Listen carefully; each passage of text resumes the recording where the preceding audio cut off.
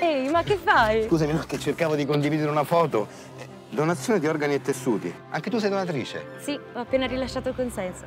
Pensavo fosse difficile, invece è semplicissimo. Basta una dichiarazione quando rinnovi la carta d'identità. O con una delle altre modalità. Ma tu lo sapevi che il sistema italiano è fra più sicuro e trasparente al mondo? Eh, lo so bene. Condividiamo?